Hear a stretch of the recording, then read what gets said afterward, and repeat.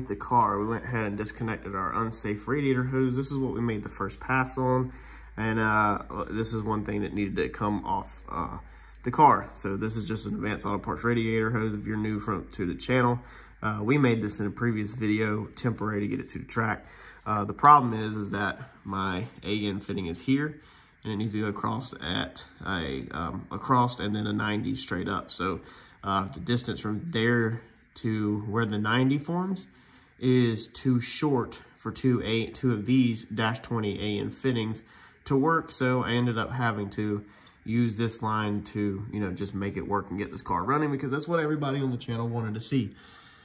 So uh, we're trying to make some fixes now. It is Friday night and I wasn't going to come down here, but I decided that I would come on down here and mess with this thing a little bit. Um, so I have ordered off of eBay a used uh, Dash 20 line. This thing actually doesn't have a ton of flex, but it does have some um, flex on it. So it's a Starlight hose, um, uh, Race Parts Inc. it looks like.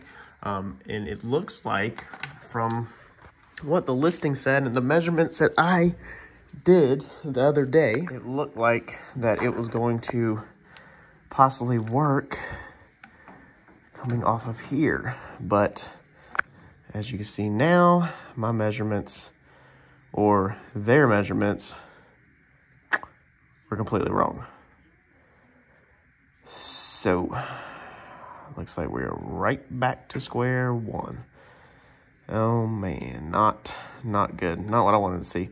So the measurements were supposed to be from here to the center of here. I think it was showing nine inches, which is what the ad showed from here to here, uh, or the ad just showed here as nine inches. Maybe he was going from here to the center of that. I'm not 100% sure, but either way, uh, by the time you screw that in, it's pretty obvious that that's not going to work. So we are right back in a pickle again, so I don't know what I'm going to do.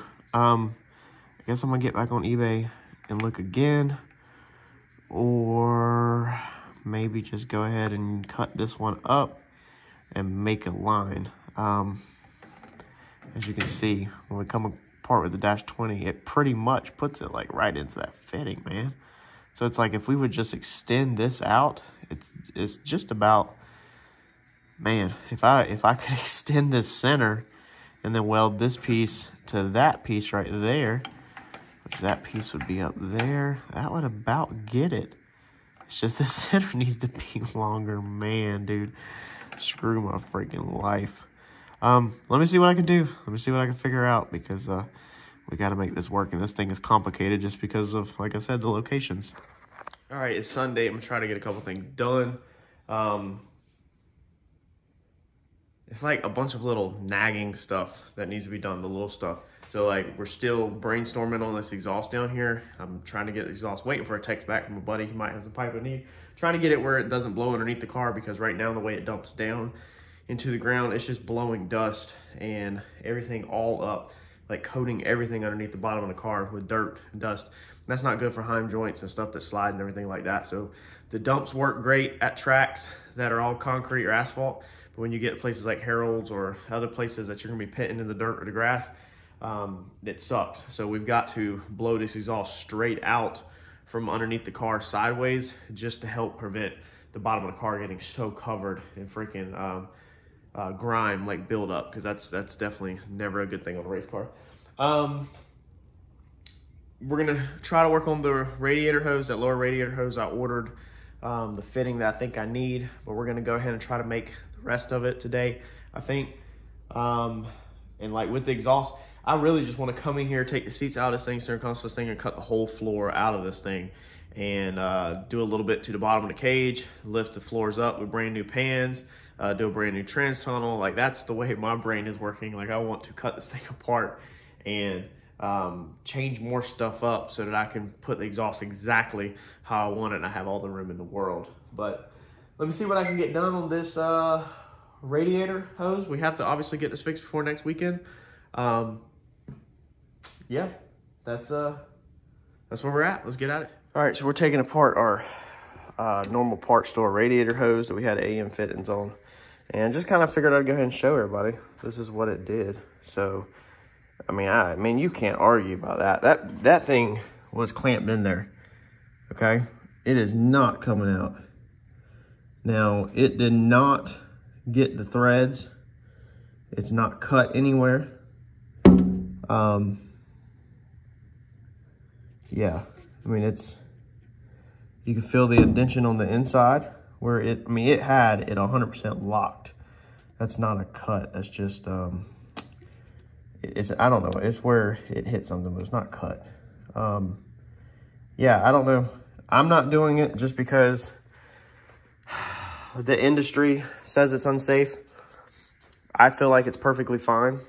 Um, you're going to have to decide to do that at your own risk. I'm not going to do it. I don't want to be the cause of killing myself or killing somebody. So we're going to go with the traditional other stuff. Yeah, I understand the reasonings behind not using this stuff. It's not really designed, um, you know, for that clamping force. But from looking at it and expecting it, inspecting it for myself, I just feel like it'd be perfectly fine. Let me see here. I think I got a smaller piece over here. Yeah, we'll use this piece since it's already got an end braided onto it. Um, this is the junk we're using. So instead of using the OEM radiator hose, we're going back to the Amazon, Amazon junk. Um, the difference with this kind of line is it has that steel reinforced braiding, but this is what it does to that line when you remove these fittings. So when you remove these fittings off of the radiator hose, this is what it looks like. Um, this radiator hose is nice and soft and able to pinch and grab extremely well um, and just lock it in there. This is what it does to the hose when you remove the fittings off the Amazon hose. Um, it took some of the, let's see here, the coating, you can see right here, how this is like weaved over top of the steel braid, okay? And then you have this um, fabric stuff over top of all that. So on this side, it actually has took it all the way off to the wire, okay? I don't know. I mean, people use this stuff all the time. These Amazon kits, I know they're not great, but this is for a radiator. It's not for oil or fuel. Um, people use them all the time and are perfectly okay with them.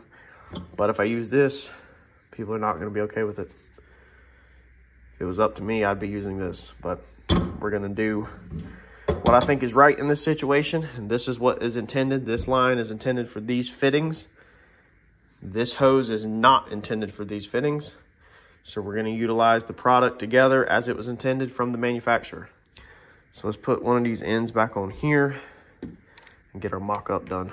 All right, so I have worked on this all day long, uh, weighed all my options, including changing this exhaust to aluminum, squishing four inch, buying oval four inch, all kinds of stuff. And I think at the end of the day, this is what it needs to, what needs to end up happening.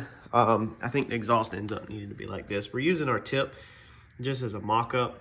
Um, we can't get it up into here just because that's not how the headers were built. They come down back there, as you can see right there. So they're back there behind the collectors right there.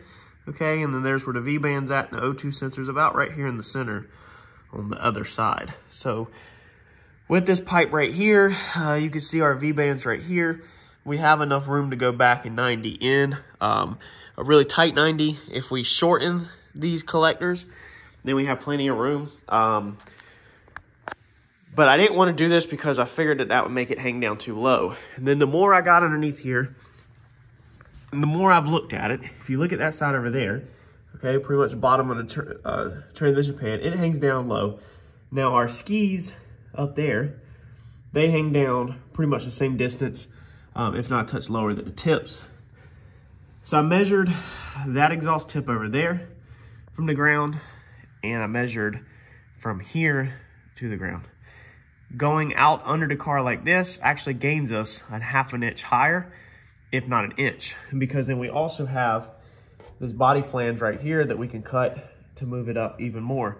So dumping them out the side like this will gain us half an inch to an inch of extra ground clearance up, believe it or not. It's really crazy. Um, but the reason why is because our collectors the top of our collectors are pretty much to the top of this floor right here. And then the tips have to be angled downwards to clear this factory uh, subframe connector. Now we've got these skis that go right here, bolt onto our factory subframe connector in the Mavericks.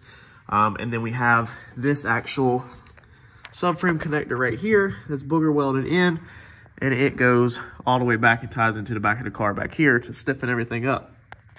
So that leaves us with this area right here where we also have lines to get this uh, exhaust out of. It would come right here and dip right here. So this is just thin um, factory, you know, channel, U channel, C channel, whatever you want to call it, uh, that's spot riveted to or welded to the floor. And I think what the answer is going to be is to get rid of this. So I think the answer is going to be to come right here, cut this straight across, get rid of this completely all the way up to here, and then cut our skis about right here, and then just have them go straight up. And this will open up the floor structure where the thickness of this, we can actually move the um, exhaust up. So we'll be able to hug the floor tighter with the exhaust, kick it out at a 90, and go straight out the sides. And then we can also get rid of this flange back here um, to hug everything tight right across the bottom of the floor. My opinion, when I take this structure out right here, even though this is uh, not super strong, I think I need to now go inside the car and then I still need to tie the front frame rails in. This is the front frame rails right here. And then, like I said, it all ties in here. I think I need to go in the car with square tubing and then weld square tubing to the front frame rails, come across, and then tie it back into here. Uh, Randy's Mustang is kind of done like that, where there's square tubing actually on the inside of the floor. John's is also done the same way uh, to tie everything together. And I think that's what I need to do is pretty much make my, get rid of this, all this factory stuff out the bottom right here and tie it together inside the actual car. I think it's going to be our answer to dumping this exhaust out the side and not having it, you know, kick up dust underneath the car. All right, so for the rocker bar, it's looking like this side's gonna be the most complicated side. Still not really that complicated. That side, I don't think there's too much to worry about. I haven't got there yet. But basically, we're gonna tie, obviously, that bar to that bar, straight through the floor.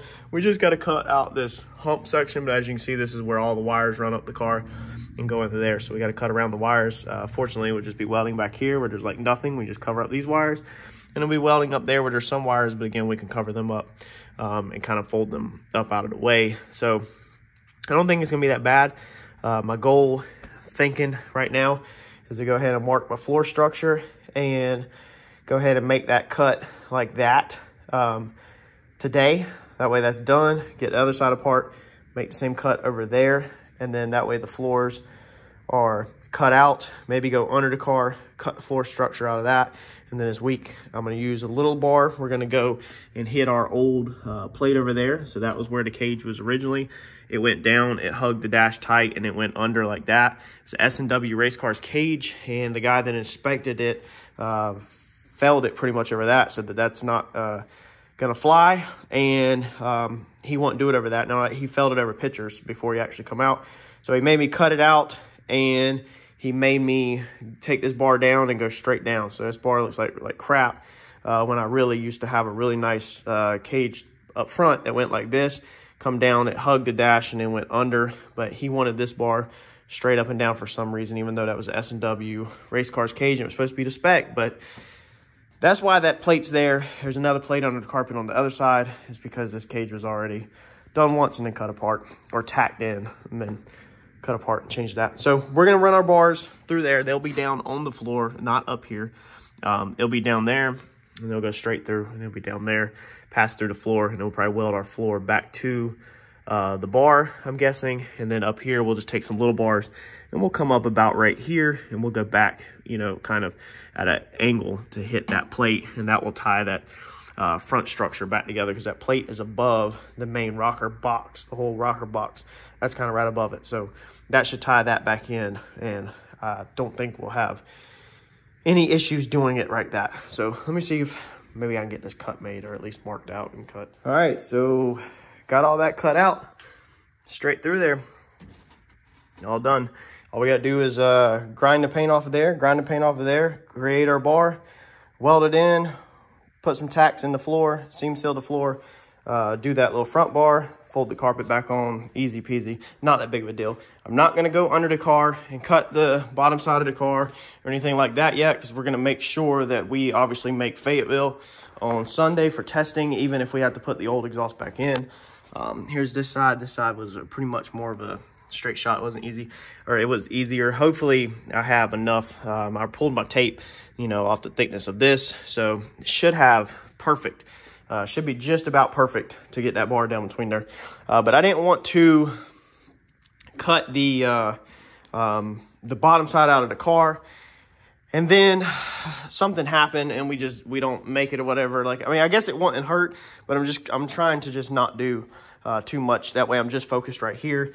Basically what we could do is we could throw our um, rocker bar in and our down bars um, in, and then we still have the old structure in the car and um, we could throw our one exhaust tip back on and then we're good to go to Fayette. Hoping happens is I'll grab this bar like Monday or Tuesday, tomorrow or Tuesday, and get this thing fitted in by Wednesday night. Hopefully have these bars back in so I can put the car back together Wednesday or Thursday night, all the insides, and then we can uh, get this thing in the trailer maybe on Friday, get this thing to the shop maybe Friday night, and then I can cut the bottom side out of the car up on Mike's lift bar. Mike's lift again, cut the bottom side of the car out and do the um, uh, do the exhaust, you know. Maybe it'll go faster and I'll get it all done here at the house Wednesday or Thursday, you know, at least, uh, you know, most of it. But that way um, we can do the exhaust and the cutting and all that stuff to the bottom of the car. Up on the lift, it'll be a little easier than laying down here on the ground. That's kind of my, uh, my thoughts on it. So just one thing at a time, still making Fayetteville.